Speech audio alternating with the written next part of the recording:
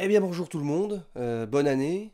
Non, pas bonne année, c'est pas, encore le... Non, c'est pas, pas, ça sort pas en janvier ça? Moi je sais pas. En tout cas, bienvenue sur cette vidéo, la première des deux vidéos bilan de l'année 2022. On va commencer par les séries et ensuite il y aura évidemment euh, les films. J'ai mis longtemps à me décider à faire ces deux vidéos parce que je savais pas trop si je voulais encore faire des, des bilans de fin d'année comme ça, mais en tout cas pour les séries, c'est la première fois sur la chaîne que je fais un bilan de fin d'année parce que j'ai regardé beaucoup de séries cette année. Et dans cette vidéo, je vais aborder pas moins de 7 séries différentes. Et je vais pas forcément spoiler toutes les séries puisqu'il y a des séries que, que j'ai envie de vous faire découvrir. Donc ne vous inquiétez pas, avant chaque série, il y aura un petit titre qui dira euh, spoiler ou pas spoiler quoi. Mais avant ça, laissez-moi vous parler du partenaire de cette vidéo. Cette vidéo est en partenariat avec MyHeritage. MyHeritage est un site qui permet de créer votre arbre généalogique. Et ce qui est assez génial, c'est qu'il n'y a pas besoin de connaître tous les membres de votre famille pour créer votre arbre. Parce que MyHeritage va piocher dans ces quelques 19 milliards de documents d'archives pour compléter cet arbre et vous faire découvrir beaucoup de choses sur votre famille. Je veux dire, moi par exemple, j'ai fait mon arbre personnel avec très peu d'informations, mais grâce au peu que j'ai rentré, j'ai pu découvrir que d'autres personnes de ma famille avaient également fait un arbre sur MyHeritage, et donc j'ai pu compléter mon arbre grâce à eux, mais aussi grâce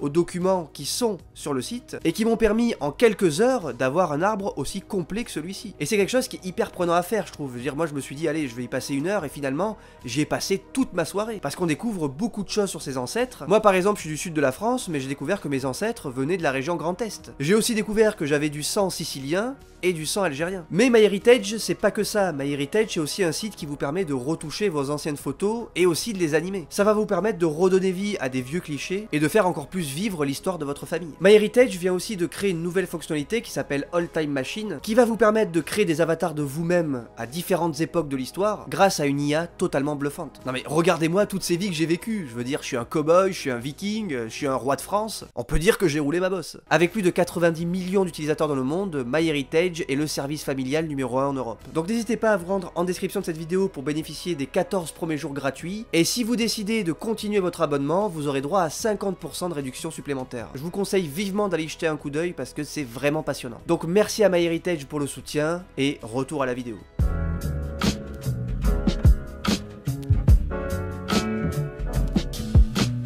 On commence direct avec les gros mastodontes, avec même le gros mastodonte puisqu'il s'agit quand même de la série la plus chère de l'histoire, avec un total de 1 milliard de dollars sur plus de 5 saisons. Alors attention, c'est 1 milliard sur 5 saisons, hein, parce que certains ont dit 1 milliard la saison 1, non, c'est 1 milliard les 5 saisons. Et les anneaux de pouvoir, je dois vous dire qu'il y a pas mal de choses à dire. Personnellement, j'ai bien aimé, mais il est vrai que euh, les défauts sont présents. Par exemple, c'est vrai que la narration est, bien trop basique. On a quand même affaire à une histoire très vaste, très, très touffu, et pourtant le récit se concentre parfois sur des choses qui sont pas forcément utiles, et ça alourdit un ensemble qui a déjà euh, le parti d'adopter un rythme plutôt onirique, qui n'est pas pour me déplaire, hein, c'est pas du tout un problème je trouve, bien au contraire. Personnellement je me suis pas du tout ennuyé devant, mais je peux comprendre aussi pourquoi on ennuyé, parce que évidemment il y, y, a beaucoup trop de personnages dans cette série, en tout cas dans cette saison 1, l'histoire globale ne se réunit pas assez vite, on va suivre ces personnages de part et d'autre sans forcément y créer des liens, en tout cas on sait que les liens vont se créer au fur et à mesure bien sûr, mais pour l'instant c'est vrai que les liens ne se font pas forcément, ou en tout cas ne sont même pas évidents quoi. Et donc ce qui fait que parfois on a l'impression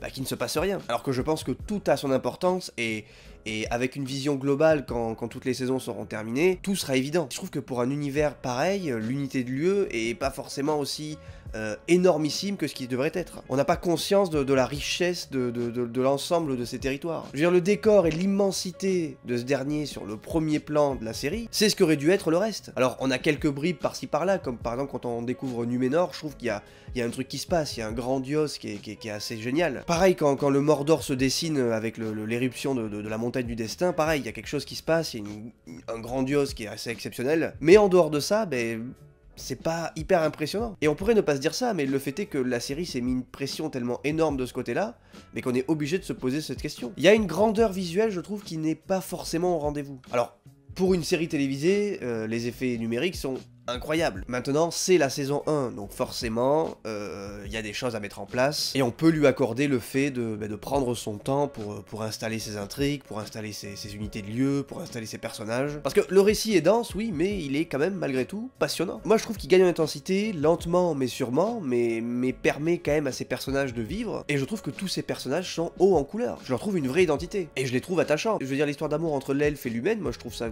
totalement cohérent et en plus assez intéressant à développer. le gamin, il a une voix de, daron de 40 ans, c'est un peu flippant, mais malgré tout, bon, il fait le taf dans cette espèce de recherche d'identité et d'une figure paternelle pour, euh, pour le remettre dans le droit chemin, lui qui, euh, quand même, euh, va à droite, à gauche pendant toute la série, on sait pas trop où il va se positionner. Galadriel, je trouve qu'il y a une vraie force dans ce personnage, du fait que justement, ben, elle, est dans, cette recherche de, vengeance. Elle n'est pas forcément le protagoniste qu'on attendait, puisqu'elle n'est pas totalement irréprochable. C'est-à-dire qu'elle s'en fiche complètement de ce qu'elle va causer autour d'elle. Elle, ce qu'elle veut, c'est venger la mort de son frère. Au-delà de sauver la Terre du Milieu, contrairement à ce qu'elle dit. Donc ouais, un vrai personnage intéressant qui, qui, qui, est développé autour d'une de, douleur intense, d'une perte qu'elle ne peut combler, et, de choix qui sont pas forcément toujours euh, cohérents. Maintenant, pour parler de mise en scène, c'est vrai que j'ai pas forcément euh, grand chose à reprocher à la série. Le fait d'avoir pris Bayona pour les deux premiers épisodes, je trouve que c'était une super idée. Je veux dire, il donne directement le ton de ce que sera cette série, et c'est vrai que sur ces deux premiers épisodes, l'ambition déborde complètement. Les décors, la bande son, il pose des bases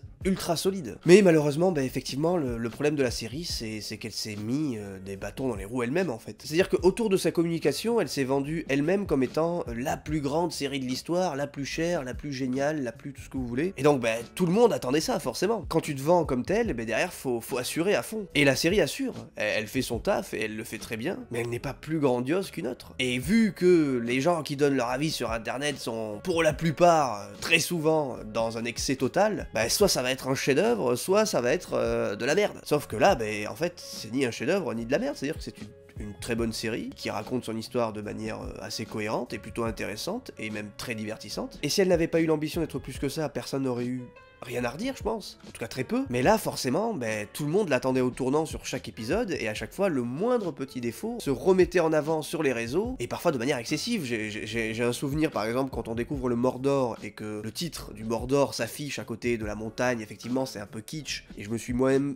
dit sur le moment, bon, ouais, bon, pourquoi pas, mais sans me dire forcément, oh mon dieu, c'est horrible, tu vois. Je dis, bon, effectivement, c'est pas très subtil, mais bon, pourquoi pas. C'est le choix du réal, euh, il a voulu mettre en scène ce moment-là de cette manière, euh, voilà, c'est comme ça. Mais alors, quand je suis allé sur les réseaux, j'ai lu des trucs genre, mais c'est le pire truc de l'histoire, c'est le. C'est horrible, c'est la pire fin d'un épisode de série, euh, bon l'excès d'internet, j'ai envie de dire. J'ai trouvé la réaction un poil excessive par rapport au truc. Bon, bah effectivement, ça aurait été peut-être plus classe que le personnage dise le nom du Mordor plutôt que ce soit affiché. Bon, bref, effectivement. Mais de là à réagir de cette manière, euh, c'est, voilà, c'est que c'est le problème de, je trouve, d'internet, de, Twitter et de tout ça, c'est qu'il y a il y a plus de deux poids deux mesures quoi. les avis sont, sont, sont too much sont dans l'excès, quoi qu'il arrive, quoi. Soit c'est le plus grand film de l'histoire, oh mon dieu, le dernier Avenger, c'est le chef-d'œuvre ultime. Soit, oh mon dieu, mais c'est le film le plus pourri du monde. Bah non, non, il y a aussi des entre-deux qui existent, et, et moi j'ai grandi avec ces entre-deux, avec ces films cool, qui sont juste cool, avec ces séries cool qui sont juste cool et qui n'ont pas d'ambition d'être plus. Là, effectivement, la série a eu l'ambition et veut, enfin, en tout cas a l'ambition d'être plus. Donc derrière, effectivement, il faut qu'elle assure. Il y a des défauts qui auraient peut-être pas dû être là, mais en dehors de ça, la série est cool. En tout cas, c'est mon avis, évidemment, vous avez le droit de pas aimer, tout à fait. On peut d'ailleurs en discuter en commentaire. Bon, après, il y a eu un débat aussi autour de, du choix des comédiennes et des comédiens, autour de l'inclusivité. Bon, moi, c'est pas du tout un truc que j'ai envie d'aborder personnellement. Je veux dire, venir cracher sur la série parce qu'elle ne respecte pas l'œuvre de Tolkien, pour moi, c'est un non-sens puisque la série n'est pas l'œuvre de Tolkien, la série est une adaptation de l'œuvre de Tolkien. Donc la série peut se permettre ce qu'elle veut. C'est tout le principe d'une adaptation, les gens ne comprennent pas ça. Je sais que par exemple, moi sur ma vidéo récente de X-Men, les gens m'ont dit ouais mais dans le comics, je m'en fous du comics. Un film c'est un film, un comics c'est un comics. L'histoire du film est basée sur le comics, mais c'est une adaptation du comics. Donc à partir de là, l'histoire peut être déformée, peut être transformée, les personnages peuvent être développés de manière totalement différente. C'est le principe d'une adaptation. Il y a un auteur qui récupère une base et qui en fait quelque chose qu'il désire lui, avec sa vision. Donc ici, si les créateurs de la série veulent de l'inclusivité dans leur casting, eh ben ils mettent de l'inclusivité dans leur casting. Et il n'y a pas de débat à avoir là-dessus. Le seul débat qu'on peut avoir sur, les acteurs, c'est savoir s'ils sont pertinents ou pas dans le rôle à travers leur jeu, à travers l'émotion qu'ils vont dégager. Et ça, pour le coup, excusez-moi, mais il euh, n'y a rien à redire. Je veux dire, le personnage d'Arondir, par exemple, pour moi, ça a été mon personnage de la série. Pour moi, c'est le personnage le mieux développé, c'est le vrai héros de cette série. Il est incroyable. Et le fait que l'acteur soit portoricain, j'en ai complètement rien à fiche. je sais pas, voilà. Donc bref, j'ai dit que j'en parlais pas, donc j'en parle pas. L'autre problème de la série, effectivement, c'est qu'elle va souffrir de la comparaison avec la concurrence. Et ici, ben, la concurrence, c'est House of the Dragon, le spin-off de, Game of Thrones. Donc la comparaison avec, avec House of the Dragon était forcément inévitable. Je veux dire, Les Anneaux de Pouvoir a été créé pour justement concurrencer Game of Thrones et se mettre au niveau de cette dernière. Mais ça veut pas forcément dire qu'en termes de créativité, en termes de, de récit et en termes de personnages, la comparaison ait du sens. Parce qu'elle n'en a pas. Le seul point commun de ces deux séries, c'est que ce sont deux séries d'heroic fantasy. Le reste n'a rien à voir. La manière d'aborder les histoires, les personnages, la violence, on est sur deux opposés. House of the Dragons, c'est une histoire très politique. C'est de la violence très graphique. C'est des personnages développés de manière totalement différente. C'est des dialogues complètement différents. Les Anneaux de Pouvoir, c'est une quête. Il n'y a pas de violence graphique, il n'y a pas de sexe. Et du fait de son univers, il y a une espèce d'onirisme qui s'en dégage, et qui n'est pas forcément présent dans House of the Dragons, où là on veut quelque chose de beaucoup plus tangible, beaucoup plus crasseux. Et c'est normal, c'est le parti pris de la série. On est sur deux partis pris différents. Et on peut préférer l'un à l'autre, évidemment. Mais le, les comparer, je trouve, ça n'a pas vraiment de sens. Enfin voilà, j'ai déjà été trop long sur la première série, falloir vraiment que je me dépêche, parce qu'il y a quand même d'autres séries derrière, hein, il y en a encore six autres. Donc les Anneaux de Pouvoir, moi j'ai bien aimé, euh, n'hésitez pas à me donner votre avis en commentaire, et on poursuit avec la prochaine série.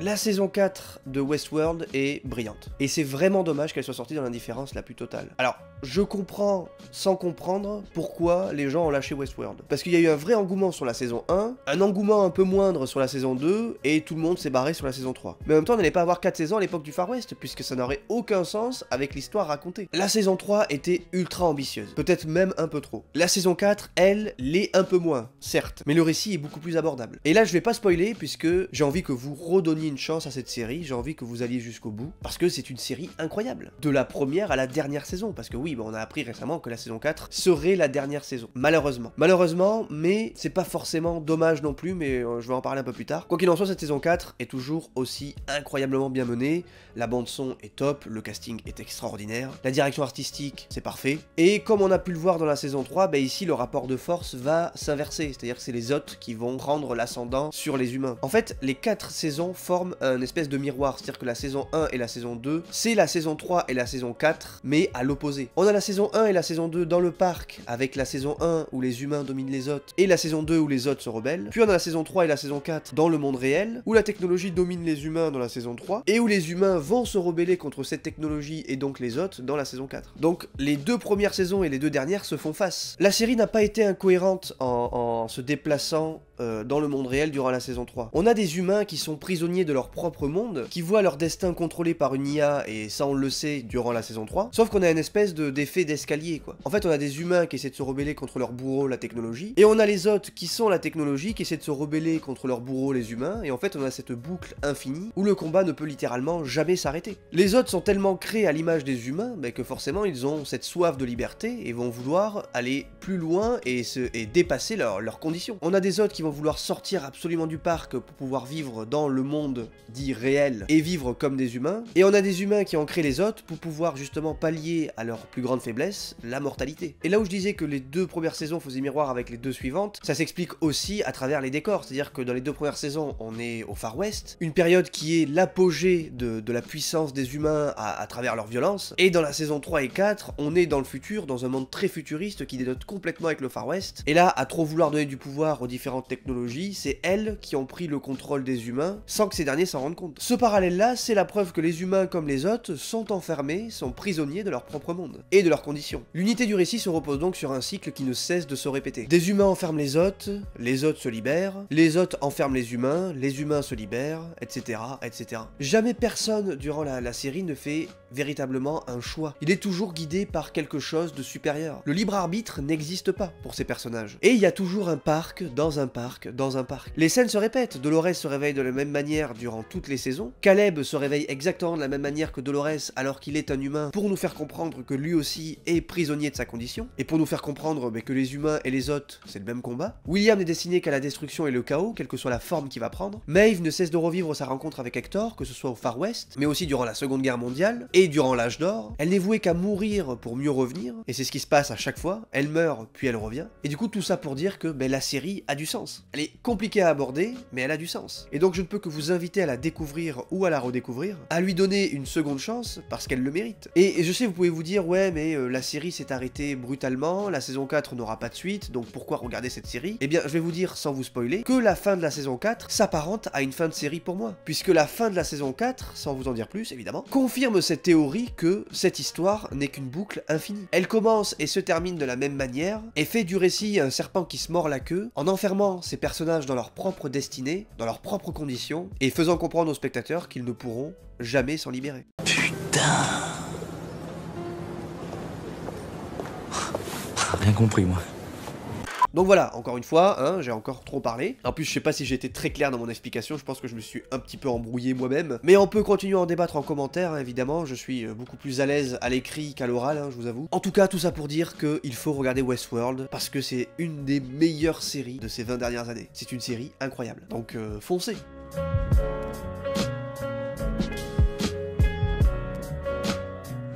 La dernière saison de Peaky Blinders est sortie en 2022, et cette saison aussi a plutôt divisé, puisque bah, c'est vrai qu'elle ne montre pas forcément ce que tease la fin de la saison 5. La saison va prendre un virage totalement inattendu, à cause sans aucun doute du, décès de Hélène McCrory, qui était l'interprète du personnage de Polly, et qui nous a quitté le 16 avril 2021. D'ailleurs, le premier épisode lui rend un bel hommage. Déjà, sa mort hors champ, elle est hyper poignante, parce qu'elle est suggérée, évidemment, hein, mais tout le monde sait à ce moment-là que c'est elle. Et la fin est extraordinaire voilà, cette manière de, lui rendre hommage. Ce premier épisode, en tout cas, de, cette saison est hyper, hyper poignant. Mais la saison prend donc le contre-pied total de, des saisons précédentes. Là où on a vu l'ascension fulgurante du personnage de Tommy durant les précédentes saisons, ici on sent qu'il a atteint son pic, et forcément, mais quand on est au plus haut, on ne peut que redescendre. C'est la saison de la punition pour Tommy. C'est la saison qui montre qu'il n'est pas intouchable. C'est la saison où il paye pour tous ses crimes. Parce qu'il a beau être cool, bah c'est quand même un criminel. Donc toute cette saison va se concentrer sur ça, sur le mal-être de Tommy, sur le, le, karma qui s'acharne sur lui, l'air de dire euh, bah maintenant c'est terminé. Et bah tout ça fait que ça laisse de côté l'intrigue autour du personnage d'Oswald, qui était le nouveau grand antagoniste de, de, la série durant la précédente saison, et qu'on avait quitté sur un cliffhanger totalement incroyable. Et c'est vrai qu'il y a une petite déception de ce côté-là, puisque ben, moi j'avais envie de, de voir le dénouement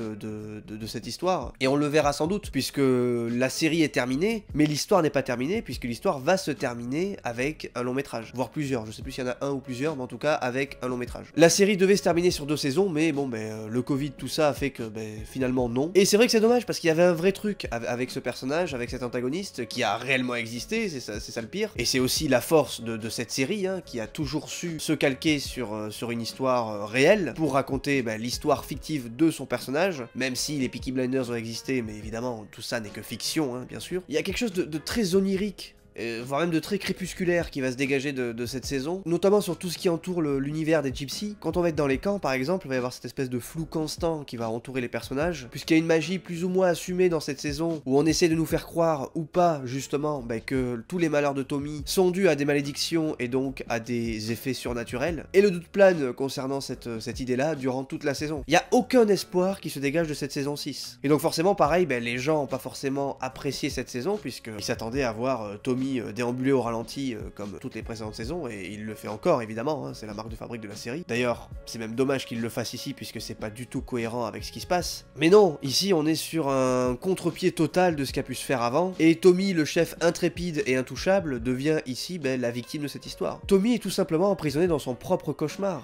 et ne parvient pas à se réveiller. Et du coup la mise en scène met l'accent sur ce côté très onirique. Et c'est là aussi où j'ai eu un peu de mal avec la toute fin, où ben, euh, on a un Tommy qui est, qui est au fond du trou euh, du début à la fin, et qui va au dernier moment se réveiller et va passer à l'action pour justement nous teaser euh, l'épilogue de la série qui sera euh, ben, un film. Et forcément vous allez me dire oui, ben, ça peut pas se terminer comme ça puisqu'il y a encore une suite, donc on peut pas laisser Tommy mourir et se tuer vu que c'est ce qui était prévu là. Et je suis d'accord, mais il y a une espèce de retournement de situation un peu super héroïque qui me fait dire que ben, ça dénote un peu avec le, le, ton adopté sur le reste de la saison. Et, là où tous les autres personnages gravitaient autour de l'aura de Tommy et, et profiter de cette lumière. Ici, il continue à graviter autour de lui, mais Malheureusement, il récupère aussi toute cette noirceur, ce qui fait que tous les autres protagonistes sont dans un désespoir aussi euh, total que, Tommy. Donc ouais, une saison 6 plutôt intéressante, avec des hauts et des bas bien sûr, avec l'intrigue autour du fascisme qui, qui, se répand euh, à cette époque-là, et qui n'est pas forcément euh, superbement bien abordé ici, ce qui est dommage je trouve, parce que c'était quelque chose d'assez intéressant. Mais à voir, à voir le film, à voir comment ça va se terminer, et euh, bah, pour l'instant, Peaky Blinders, euh, c'est top.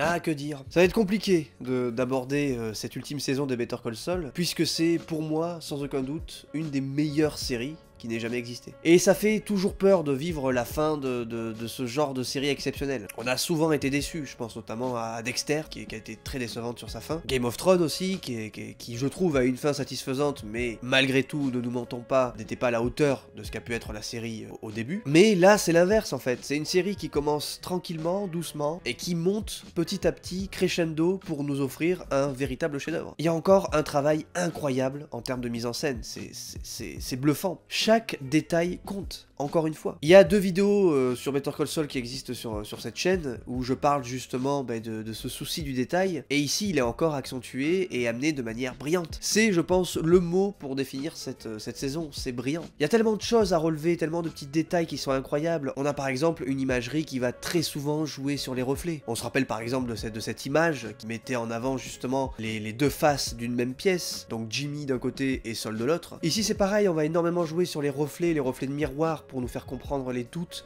des personnages, pour nous faire comprendre leur situation actuelle, leur solitude. Un exemple, durant la première partie de cette saison, quand euh, Kim va commencer à prendre conscience de ce qu'elle est en train de faire et va se demander si ce qu'elle fait est, vraiment euh, justifié. Je veux dire, il y a ce moment quand elle regarde son radio réveil et que littéralement le radio réveil va afficher le mot lie, qui veut dire mensonge. Et c'est ce que vit Kim à ce moment-là. Elle vit dans le mensonge. Elle est tiraillée par ses choix. Et il y a un autre plan qui, qui le montre parfaitement quand elle est sur cette route où elle va en direction d'une opportunité incroyable qui pourrait la faire revenir sur le droit chemin et où un appel de sol va littéralement la, la faire changer de route et où on va comprendre mais qu'en changeant de voie littéralement, elle va aussi changer sa façon d'être métaphoriquement et emprunter une route qui va la mener sur un point de, non-retour. Avec notamment ben, le meurtre de Howard qui découlera de, tout ça. Il y a aussi un plan qui m'a beaucoup marqué, c'est quand Mike va annoncer la mort de, ben, Nacho à son père. On a ce plan justement qui rappelle encore une fois cet effet miroir, où on a deux personnages quasi identiques dans la manière qu'ils ont justement ben, d'aborder euh, le, personnage de Nacho et l'affection qu'ils avaient pour le personnage de Nacho. On a évidemment son père qui, qui l'aimait comme un père, mais on avait aussi Mike qui l'aimait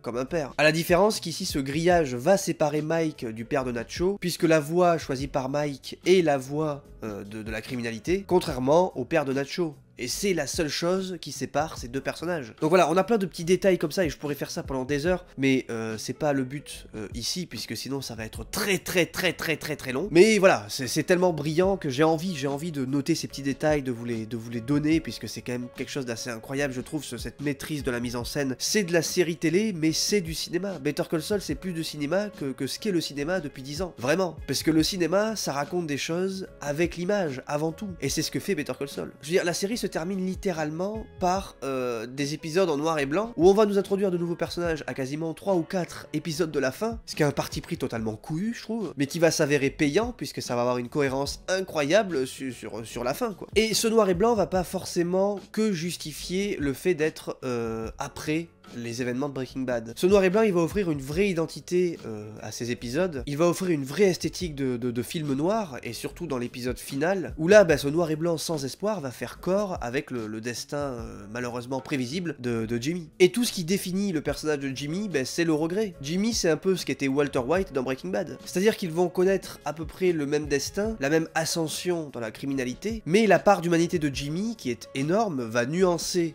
cette comparaison, et va nous faire comprendre que ces deux personnages sont tout autant liés que complètement opposés. Walter embrasse la criminalité pour les besoins de sa famille. Jimmy embrasse cette criminalité à cause de sa famille, parce que personne n'est là pour le soutenir. Contrairement à Walter qui a un soutien infaillible. Là où Walter est devenu Heisenberg littéralement parce qu'il l'a toujours été au fond de lui, Jimmy a créé Saul Goodman pour les mêmes raisons, pour se créer cette identité criminelle où il pourrait justement euh, y cacher bah, ses vices, mais Jimmy n'a jamais été Saul Goodman. Saul Goodman a toujours été une façade, mais n'a jamais réellement euh, pris le dessus sur euh, l'humanité de Jimmy. Parce que Jimmy, en étant Saul Goodman aurait pu s'en sortir à la fin, aurait pu euh, ne faire que quelques années de prison et regagner sa liberté. Mais Jimmy a décidé consciemment d'enfermer sa part d'ombre, donc Saul Goodman, et de le mettre en prison. Parce que Jimmy et Saul Goodman sont la même personne, évidemment. Mais Jimmy, lui, n'est pas en prison, Jimmy, lui, a gagné. Il ne se sent pas emprisonné parce qu'il a regagné la confiance et l'amour de Kim. Cette scène-là, pour Jimmy, c'est une victoire. Mais malheureusement, s'ensuit ben, cette scène-là qui prouve que, à cause de tout ce qui s'est passé, cet amour est désormais impossible. Et que Jimmy est destiné à payer pour avoir été Saul Goodman. Et un autre exemple pour euh, lier le personnage de Walter et de Saul, c'est que par exemple, on a euh, une scène dans la saison 2 de Breaking Bad où Walter regarde ce tableau, ce tableau montrant un homme euh, s'éloignant de sa famille, ce que Walter fait littéralement en devenant Heisenberg. Et ce même tableau, on le retrouve dans cette saison 6 de Better Call Saul, quand Jimmy et Kim sont obligés d'aller dans une chambre d'hôtel parce qu'il y a le cadavre de leur ami qui gît dans leur appartement et qui montre aussi ben, que le point de non-retour est franchi et que Jimmy, comme Walter, ne peut désormais plus revenir en arrière. Et évidemment, c'est après ça qu'en découlera l'histoire de, Breaking Bad et où Jimmy va complètement embrasser le personnage de Saul jusqu'à sa rédemption euh, à la fin de cette saison 6 et donc après les événements de Breaking Bad où il va enfin se débarrasser de ce personnage et payer les pots cassés. Donc Vince Gilligan nous a fait comprendre en 14 mais qu'aucun espoir n'était permis dans l'univers de Breaking Bad. Et Better Call Saul ne déroge pas la règle. Jimmy McGill est un personnage qui a toujours été emprisonné par sa solitude, par son mal-être, par ses regrets. Et Kim était l'antidote à tout ça. Elle est la clé de sa rédemption. Malgré une séparation finale évidente mais déchirante, elle sauve Jimmy qui disparaît dans un plan final totalement poignant. Cet épisode final, c'est l'apogée d'une série incroyable. Là où je vous disais que le miroir avait un rôle important dans cette saison et dans cette série, mais dans cet épisode final, et pour une fois, les personnages se regardent dans ce miroir, assument leurs responsabilités. Et tout ça clôt un grand cru de la télévision qui va nous manquer, mais que je ne vais pas me priver de voir et de revoir et de re-revoir parce que c'est un univers incroyable et même impitoyable pour ceux qui ont, qui ont la ref. Donc voilà, Better Call Saul saison 6, c'est une réussite totale, c'est une fin de série magnifique, c'est une série globalement incroyable, chef-d'œuvre, voilà. Je, je, sors le mot, le mot tant, tant redouté, chef-d'œuvre. Mais c'est la vérité. Sur ce, on passe à la suite.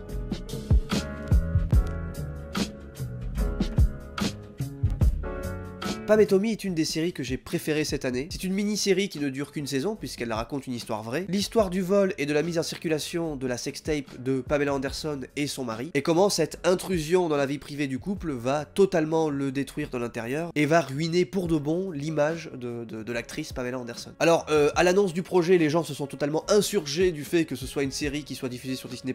Ne pas comprendre que Disney+, n'est pas forcément une plateforme destinée aux enfants, c'est être complètement... Euh, enfin, je vais pas dire le mot, mais voilà.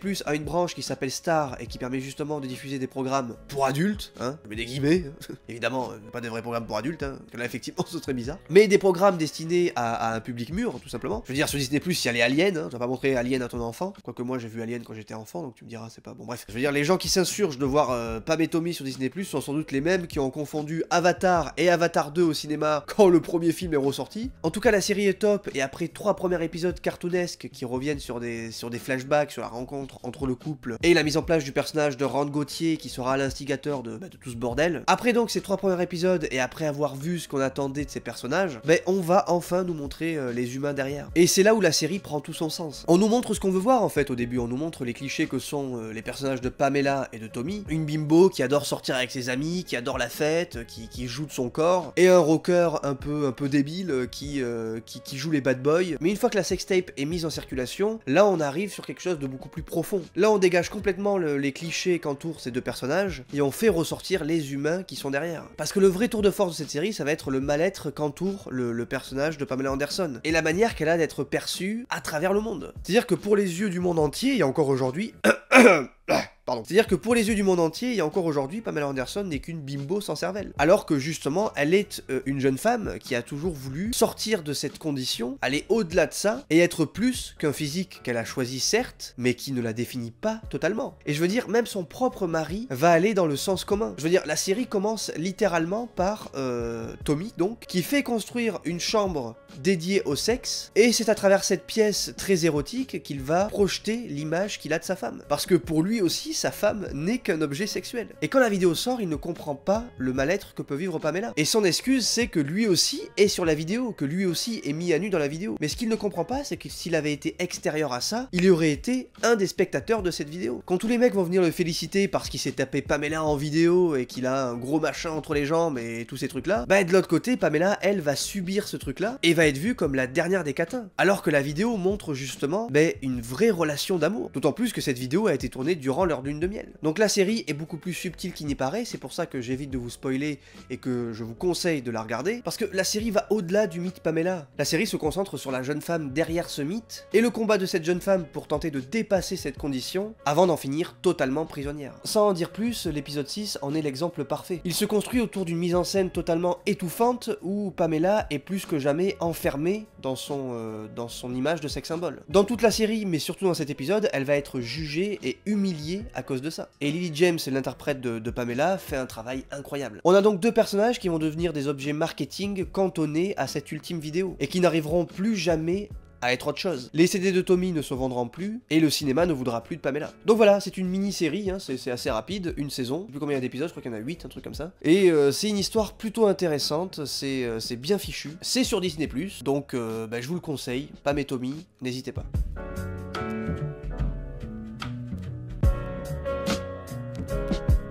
On reste sur Disney+, puisque vous l'avez bien vu, on va parler de Obi-Wan. Alors Obi-Wan, sur le papier, c'était une série qui était inratable, littéralement. Et paradoxalement, avec du recul, on se dit que ben, elle ne pouvait être que ratée. Il faut savoir qu'à la base, Obi-Wan devait être un film comme euh, le film Solo, par exemple. Mais comme le film n'a pas marché, ben, le projet Obi-Wan a été annulé. En tout cas, a été remodelé pour en faire une série, et donc euh, étoffer le catalogue euh, de, la plateforme Disney+. Le problème, c'est que, bah, à mon avis, ils ont utilisé le même scénario qui devait à la base tenir sur le temps d'un film, et ben quand tu le transformes en série, forcément, faut meubler. Et le problème, c'est que la série ne fait que meubler. C'est-à-dire qu'on a le droit à 4 épisodes d'introduction. 4 épisodes sur 6. Et la série, encore une fois, ne se repose que sur sa nostalgie, puisqu'on va continuer à suivre les mêmes personnages dans le même unité de lieu, c'est-à-dire Tatooine, on a compris, Tatooine c'est super, génial, même si on n'est pas que sur Tatooine évidemment, mais bon. Et c'est assez paradoxal de dire que Star Wars est un univers ultra étendu, avec, avec des, des, des, des mondes et, des, et des personnages, et, tout un bestiaire qui qui est totalement infini, et pourtant depuis le rachat de la franchise par Disney, on reste toujours au même endroit, à la même période, avec les mêmes personnages. Pourquoi me direz-vous? Bah, pour l'argent, parce que bah, la nostalgie, ça rapporte de l'argent. Et ici, on va avoir le droit à des flashbacks, somme toute sympathiques, mais qui ne sont là que pour alimenter cette nostalgie. Et la série, plutôt que de développer un récit cohérent et intéressant, va se concentrer sur ces petits détails nostalgiques. Comment Luke a eu son petit jouet avec lequel il joue à la 14e minute et la 12e seconde de, de l'épisode 4. Comment Leia va avoir son ceinturon qu'elle porte dans la, dans la trilogie originale. Des trucs dont tout le monde se fout dont on n'a pas besoin d'avoir la réponse. Mais c'est sur ça que repose toute la série. Et donc à partir de là, elle ne peut être que ratée. C'est le problème avec les projets Disney+. Je veux dire, je vais pas forcément en parler en détail, mais j'ai vu la première saison de She-Hulk, et c'est le même problème, c'est-à-dire que ça ne raconte rien. C'est basé sur du vide. On a littéralement plusieurs épisodes de vide. C'est une perte de temps totale. Mais si encore il y avait l'imagerie, bon pourquoi pas, le problème c'est qu'elle n'y est même pas, c'est-à-dire que euh, les combats entre Obi-Wan et Dark Vador sont plutôt cool, surtout le deuxième, qui raconte quelque chose quand même malgré tout, qui fait suite à, la prélogie, et qui est pour moi, je trouve, la meilleure scène de la série, la, sans doute la seule scène qui vaille le coup. Mais c'est pas très bien filmé, on voit pas grand chose. La mise en scène n'est pas du tout, du tout créative. Je veux dire, la course-poursuite avec Leia, ça a tourné sur les réseaux, forcément, ça a créé des mèmes, parce que c'est complètement ahurissant quoi. C'est, c'est, on est sur une parodie. Et d'ailleurs, ce qui est bizarre aussi, et ça n'a rien à voir, mais la musique de la série est identique à la musique du jeu Spider-Man sur PS4, mais genre vraiment identique. Et ça m'a beaucoup perturbé personnellement. Je sais pas si vous avez fait le lien, mais allez voir sur YouTube. Hein, je peux pas vous faire écouter les musiques, mais allez, voir la, comparaison. C'est, assez bluffant quoi. Donc oui, on a le combat entre Vador et Obi-Wan qui est bien, c'est cool. On a les flashbacks avec euh, avec Hayden Christensen qui sont plutôt cool. Mais en dehors de ça, on a une série qui ne raconte rien et pourtant qui réussit à avoir pas mal d'ellipses, à avoir des incohérences de scénario. On a des sabres laser qui ne sont plus du tout impressionnants puisqu'ils ne tuent plus personne. Je veux dire maintenant tu peux te faire poignarder et tu peux te faire euh, transpercer le ventre que tu resteras vivant. On n'a aucune empathie et aucune peur pour ces personnages parce qu'on sait très bien qu'ils vont revenir. Et donc on se retrouve avec une série qui littéralement ne sert à rien. Et je suis pas du genre à dire ça, puisque pour moi, une fiction ne doit pas forcément servir euh, quelque chose. Je veux dire, la série peut se suffire à elle-même et n'a pas forcément besoin de raconter euh, X ou Y chose par rapport à ce qui s'est passé avant et après. Mais là, malheureusement, la série s'appelle Obi-Wan et traite du personnage d'Obi-Wan entre la prélogie et la trilogie. Donc forcément, il faut raccrocher les wagons. Et c'est fait de manière plus ou moins cohérente, quoique il y a beaucoup de choses qui, sont euh, un peu aux fraises, mais entre la prélogie et la trilogie, à part ce combat, je vous ai dit, entre Dark Vador et Obi-Wan, le deuxième, qui raconte véritablement quelque chose, le reste ne raconte rien. Et heureusement qu'il est là ce combat, heureusement qu'il est là justement pour justifier le fait que dans l'épisode 4, quand il dit la dernière fois j'étais l'apprenti, même en étant Dark Vador, ben, il était toujours l'apprenti et ça se voit dans ses yeux quand il lui pète le casque et qu'on voit son regard et qu'il lui fait comprendre en gros ben, que Obi-Wan n'a pas besoin d'être coupable de ce qui s'est passé parce que ben, c'est Anakin qui a décidé de devenir Dark Vador, c'est quelque chose de super poignant, je trouve, et c'est quelque chose qui est pour le coup là bien écrit. Et c'est d'ailleurs ce qui sera un des, points forts de la série, sans doute le seul point fort, c'est euh, la manière qu'elle aura de, mettre en avant la culpabilité d'Obi-Wan sur ce qui s'est passé, sur sa relation avec Anakin et le fait qu'il ben, se sente euh, coupable euh, d'avoir euh, transformé Anakin en ce, en ce monstre qu'est Dark Vador. Quoi. Voilà pourquoi d'ailleurs le personnage d'Obi-Wan sera un peu paumé au début et aura perdu un peu sa force, même si bon, ben, la force généralement ça se perd pas forcément, mais bon, on en a tellement fait tout et n'importe quoi de la force que de toute façon maintenant, pourquoi pas. Donc voilà, globalement, ben, la série Obi-Wan c'est une déception et c'est dommage parce que moi j'ai bien aimé les séries Star Wars pour l'instant, j'ai bien aimé Mandalorian. J'ai bien aimé euh, Boba Fett, hein. je suis sans doute un des seuls en France, mais même dans le monde, mais j'ai bien aimé Boba Fett. Et j'ai pas encore vu Andor, qui apparemment est incroyable. Quand Andor est sorti, je me suis dit, ben, je vais pas voir Andor parce que j'en ai marre des séries Disney. Et finalement, il s'avère que les retours sont, assez dithyrambiques, donc euh, je vais sans doute euh, regarder ça. Obi-Wan, c'est pas forcément une grande réussite, alors que sur le papier, ça aurait dû être la série la plus réussie de, de l'univers Star Wars. Comme quoi, faut pas se fier aux apparences.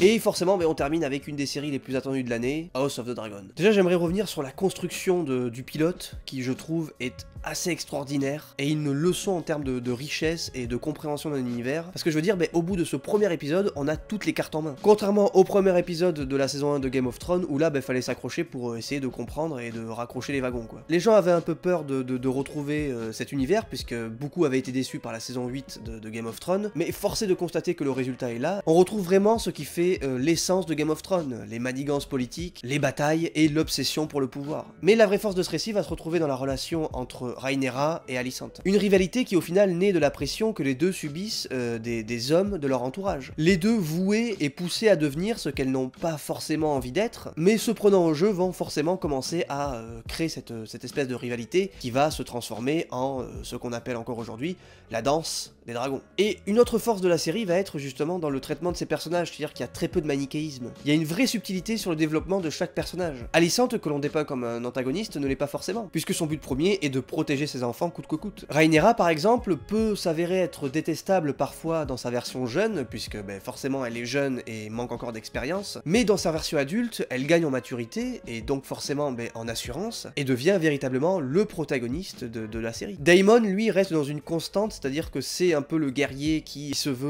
euh, sans pitié, qui essaye malgré tout de, cacher ses émotions, mais qui ne peut les contenir euh, constamment, et c'est ce qui fait que ben, les gens ont beaucoup apprécié ce personnage, même si il est vrai qu'il se rapproche plus de l'antagoniste que du protagoniste, mais c'est encore à voir par rapport à la manière dont il va être développé dans les prochaines saisons. Tous ces personnages sont ultra fascinants, et, c'est là la force de cet univers, c'est que tous les personnages sont intéressants. Tous les personnages ont quelque chose à raconter. Ce qui va marquer aussi cette saison, c'est les décennies qui vont s'écouler durant les, les 10 épisodes. Là où à l'inverse, dans euh, les premières saisons de Game of Thrones, on avait euh, l'impression que la série prenait énormément son temps, notamment dans les, dans les voyages que faisaient les personnages, où on s'arrêtait sur chaque moindre détail.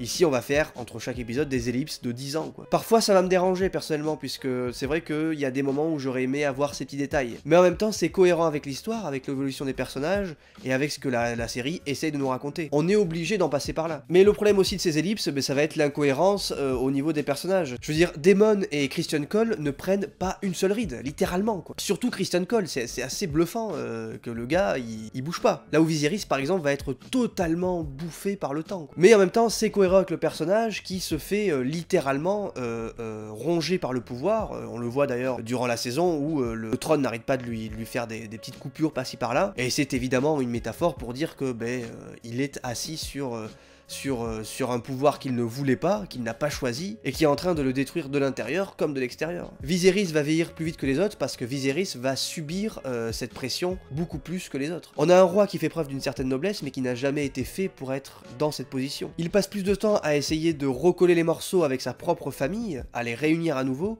qu'à s'occuper de son propre royaume. Il va être pris en porte-à-faux entre sa femme et sa fille, et ce sera évidemment son ultime regret. On a beaucoup comparé la première saison de Game of Thrones à la première saison de ce spin-off, mais encore une fois, je trouve que la comparaison n'a pas tellement de sens. Elle se fait naturellement, évidemment, mais on peut pas dire qu'une saison est meilleure que l'autre puisque les deux sont incomparables. Je veux dire, grâce à Game of Thrones, ben, ce spin-off va jouir d'une popularité incroyable et va se reposer sur un socle bien solide qu'est Game of Thrones. Là où Game of Thrones a dû se construire à travers la popularité ben, des lecteurs des livres, évidemment, mais a dû se, se créer sa place à la télévision grâce à une mise en scène totalement différente de House of the Dragons, grâce à une approche totalement différente également, mais aussi avec un frein de taille qui est le budget, parce que là où House of the Dragons va, va jouir d'un budget assez conséquent grâce à la popularité de Game of Thrones, ben la première saison de Game of Thrones aura le droit à un budget limité pour faire ses preuves, et ça se ressentira à travers les décors et le grandiose de la première saison qui sera moindre par rapport aux saisons qui vont suivre. Donc pour moi, par rapport à ça, les deux saisons sont pas vraiment comparables, parce qu'il y a trop de choses qui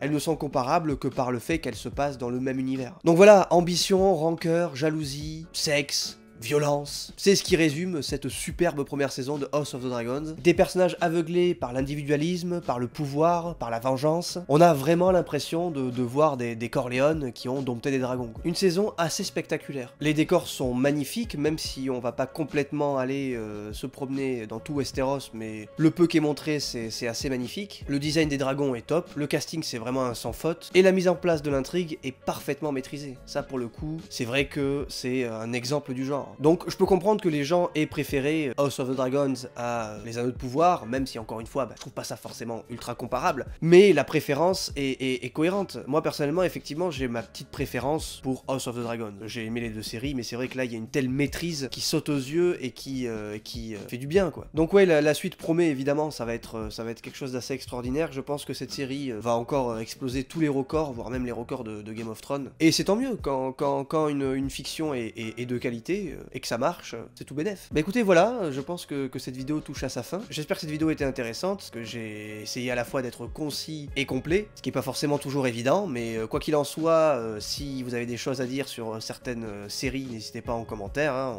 on, va en discuter. Dans un certain respect, hein, évidemment, comme toujours, le respect est très important. Hein. J'ai ouvert une boutique sur, sur Utip, voilà, j'ai une boutique de t-shirts sur Utip, par exemple le t-shirt que je porte c'est un t-shirt qui est disponible sur ma boutique, donc voilà, euh, le Hervé de Réservoir Vlog. Et derrière, il y a euh, le logo de la chaîne, je sais pas si on voit bien. Donc il est disponible en jaune, en blanc, toutes les couleurs, j'en ai même d'autres, hein. j'ai même euh, t-shirt avec, voilà, des... Vous avez reconnu bien sûr Terminator, donc il y a plusieurs trucs comme ça, il y a Terminator, Collatéral, il y a un t-shirt de la chaîne, t-shirt Apocalypse Now, il y a plein de choses, c'est disponible, ah décidément, c'est disponible sur Utip, dans la boutique, n'hésitez pas, faites-vous plaisir. Et voilà, écoutez, quant à moi, il ne me reste plus qu'à vous souhaiter une très bonne journée, une très bonne soirée. On se retrouve très bientôt pour la même vidéo, mais avec le cinéma, où je vais traiter 10 euh, films de l'année 2022. N'hésitez pas à liker et à partager cette vidéo, et quant à moi, je vous dis à très bientôt sur Réservoir Vlog.